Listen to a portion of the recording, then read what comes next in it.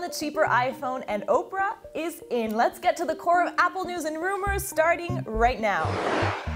$1,000 is more than most people are willing to spend on an iPhone. According to a report in the Wall Street Journal, the company has increased orders for its cheaper iPhone ahead of the next launch event.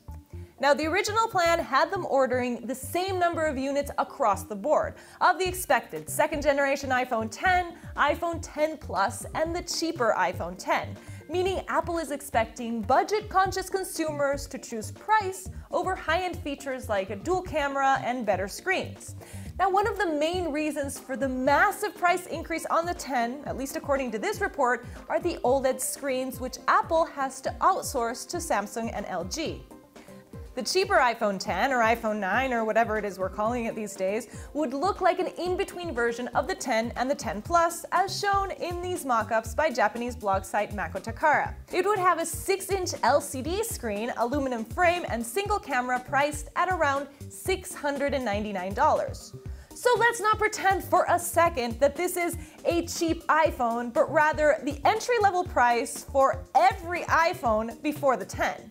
But here's the kicker it may not be available until November. Just blame it on the notch. According to a 9to5 Mac report, they're having a hard time cutting into the LCD panel, causing production delays for this model only. But the article actually cites a sketchy Korean report, so take it with a grain of salt. But enough with the rumors. Here's something I can say for a fact. Apple is serious about creating original content. How serious? Oprah serious. That's right, Apple has signed on the talk show mogul to create original content as producer, talk show host, actress. Who even cares? It's Oprah. The bigger question here, though, is what Apple is planning to do with this content. Steven Spielberg, J.J. Abrams, Reese Witherspoon, Jennifer Aniston, and a slew of other big names are also on board, but we're not exactly sure for what and they might not either.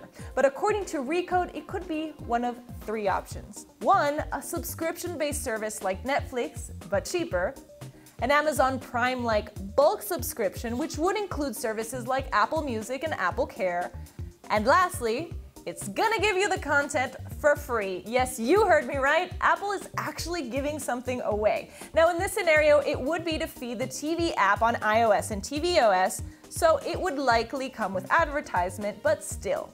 Or it could be all of the above. We may have to wait and see because Apple is not expected to launch anything until spring of 2019 at the absolute earliest, at least according to this report. It seems like we're not done unpacking iOS 12 features. And unlike Memojis, this next one could literally be a lifesaver.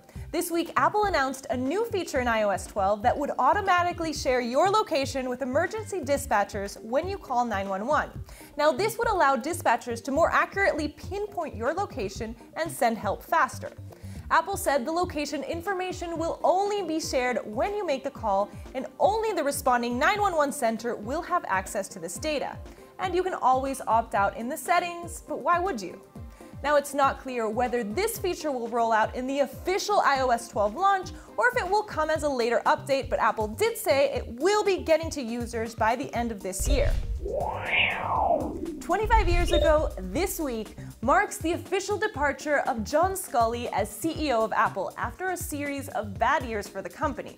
The former Pepsi exec was behind some of the most memorable marketing campaigns and product launches in Apple's history but he was also one of the main reasons behind Steve Jobs' resignation in 1985.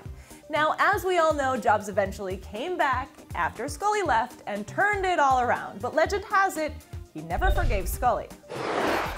And that's it for your Apple update, but come back next week for more news and rumors on the Apple Core.